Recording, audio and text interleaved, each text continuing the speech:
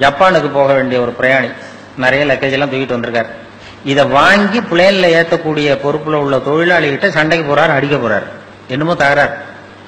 இவர் கடுமையா இருக்கு ஒரு முகம். கோவப்படுறாரு இந்த பெரிய மனுஷன். ஜப்பான் போக வேண்டிய பிரயாணி. இதை வாங்கி பிளேன்ல ஏத்துற தொழிலாளி இருக்கானா? அவன் சிரிச்சுக்கிட்டே சரி சார் சரி சாருங்கிறான். இவர் கோவப்படுறாரு. அவன் சிரிச்சுக்கிட்டு இருக்கான்.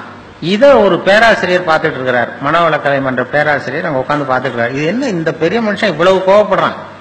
அந்த சாதாரண தொழிலாளி சிரிச்ச முகத்தோடு இருக்கிறானே. அவன் வந்து நமக்கு வகுப்பு எடுக்கலாம் போல இருக்கு. சினம் தவிர்த்தல வகுப்பு அப்படின்னு நினச்சிட்டார்.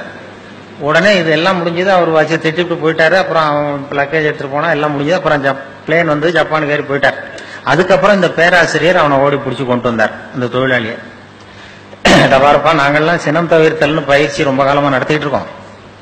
நான் இது நடைமுறையில் இன்னைக்கு அந்த ஆள் ஒன்னு அவ்வளவு திட்டனா. பெரிய பதிலுக்கு முகம் கூட சொல்லிக்கல சிரிச்சுக்கிட்டே இருந்தியா அது எப்படி? அவ்வளவு திட்டம் அவனுக்கு கோவமே வரலையா உனக்கு அப்படின்னார். அப்பா அவன் சொன்னான் அப்படி இல்லை சார் மனுஷன்னு பிறந்தா கோவம் வராம இருக்காது கோவம் வரும். எல்லாருக்கும் கோவம் வரதான் செய்யும். ஒவ்வொருத்தரும் அவங்கவுங்க வழியில அதை டீல் பண்ணுவாங்க. ஏ ஏய் நீ என்னடா பண்ணேன்னு கேட்டிருக்காரு?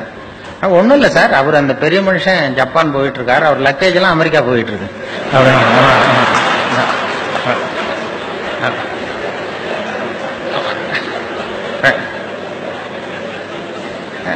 நம்ம எதுக்கு சார் அனாவசியமா இவன்ட்ட போய் கோவப்பட்டுக்கிட்டு நம்ம வழியில நம்ம சினத்தை தவிர்த்துக்கிட்டா போதும். அப்படின்னா